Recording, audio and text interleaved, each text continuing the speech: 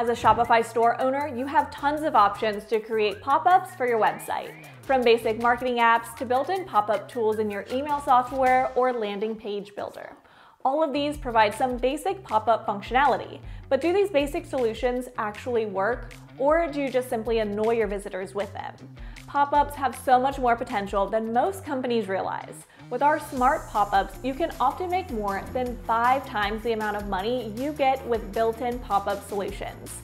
How is that possible? First of all, we have specific tailored solutions for each stage of the user journey. Instead of just pushing one generic welcome pop-up to every user and annoying 99% of your visitors, with OptiMonk you can show the right message to the right people at the right moment. Plus, our smart features allow you to easily create the most stunning and highest converting pop-ups available. Where to start?